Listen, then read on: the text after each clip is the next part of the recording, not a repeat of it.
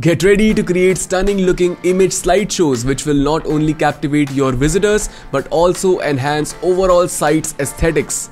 With unique layouts and effortless customizations, you will learn how to make your WordPress site more engaging and visually appealing. So without any further ado, let's dive in and make your site truly stand out with these dynamic sliders.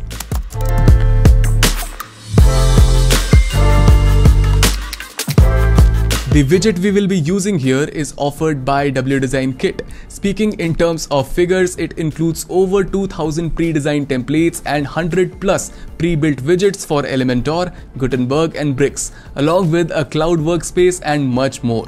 We will discuss about more of its features in detail soon, so make sure you watch this video till the very end.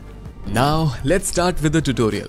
Make sure you have installed Elementor and we will also need WDesign Kit so come up here and click add new plugin. Then search for it and here it is WDesign Kit. Simply click on install now then activate. Moving ahead to appearance and here as you can notice I'm using Nexter theme. However feel free to use any other theme as per your preference. Now in order to use this plugin we will need to make an account with WDesign Kit. Simply come here and click on WDesign Kit. Next, up here in the header section, click on Login. At the bottom here, it's written don't have an account. Click sign up. Now this web page will open up where it's visible that you can sign up with your socials or here after you fill all the details mentioned, simply click on this button. I already have an account so I'll simply click sign in and then I will click on continue with Google. Once you're logged in, you will get to see this kind of interface. It's time to activate our widget so come up here in the header section and click on browse widgets. Now search sliders and here it is simply download it by clicking on this icon. Now let's make sure it's downloaded by going into the my widget section. Perfect. Now opening the Elementor editor Here's my page where I have already imported the widget. If you want to do the same, simply come here in the widgets panel and search sliders. Then drag and drop it inside the workspace. For now, let's just select the widget from the navigator and under the content tab in here, you will get to see these many customization options. Let's go through all of these one by one. First one is navigation. We've got two styles here that are 1 and 2. I like this one, so let's keep it. Also, alignment can be adjusted from here very easily. Moving ahead, it's time to talk about slides. This is the main part of the video, so watch closely. On opening the item box, you will get to see several options to make use of. In media, whatever picture you will upload will be showcased in the banner area of the slider. See?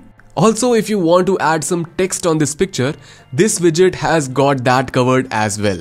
Let me quickly add some text and description from a demo document I prepared specially for this project. It's done. You can see how our first slider looks like with some text over it. Now this option here is for button. But you will ask, Kunal I can't see any button on the layout. Well, that's because it's hidden. If you want to make it visible, scroll down a bit and click on this disable buttons toggle. See, it's visible. Now you can customize this button's element from here. Its text can be changed, icon can be replaced or uploaded as well as there is a link field. So you can easily redirect your site visitors onto a specific page with just a click. Though I don't want this button on my slider so I'll go ahead and turn this disable button option on again. Next, we've got navigation image option. Using it you can basically fill these small blank boxes down here. Please note that these boxes are clickable and will be used to navigate by your visitors. I'll upload the same image that I uploaded above but you can feel free to upload any image as per your liking. It's done. All the options are covered. Now it's the same process for the remaining slides. So let me quickly fill up the other item boxes as well with images and required text.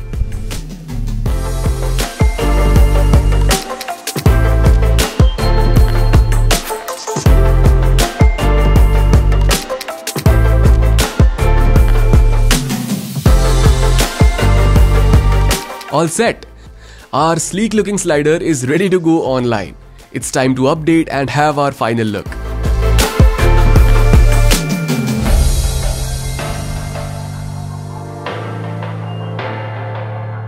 Now don't forget to explore other amazing features WDesign Kit offers. It provides various design assets and resources to create amazing WordPress websites in a matter of minutes.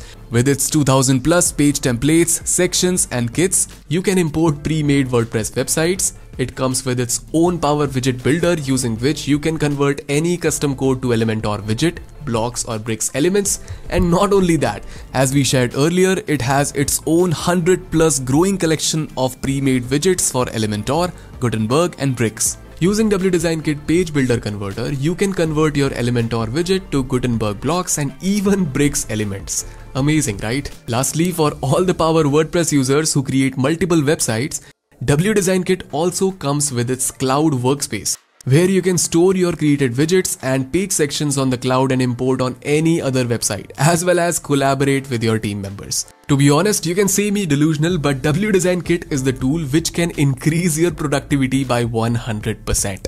It comes with both free and pro plan. You can check all the details from this pricing page and choose the plan which suits your need. Hope you enjoyed the video. Now if you are curious, be sure to check out our next video where I will show you how you can add an amazing scroll triggered animation to your banners and images, making them truly stand out on your WordPress site. Also, don't forget to leave a like and subscribe to the channel with the bell icon turned on so that you don't miss any of such amazing videos we keep on adding inside our W Design Kit playlist every week. Until then, keep learning and stay creative.